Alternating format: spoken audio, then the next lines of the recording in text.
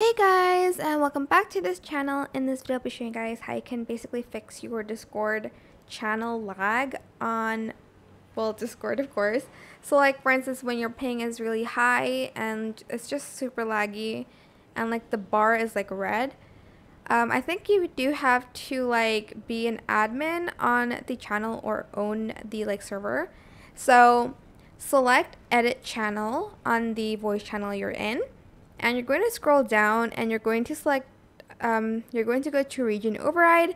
So for instance um, I live in Asia so I would want the region to be somewhere like in either Singapore Japan India or Hong Kong. But I live closest to Singapore so I'm just going to choose that instead. And I'm going to select save changes and hopefully it will lag less if I go in. So here you can see like your, the ping and like the bar here is green when I chose that. So hopefully that solves your problem. Um, I hope this tutorial was helpful for you guys. Don't forget to like, comment, share, also subscribe to this channel if you haven't done that already. If you have any more questions, just leave it in the comment section down below. I will try my best to answer them all for you guys.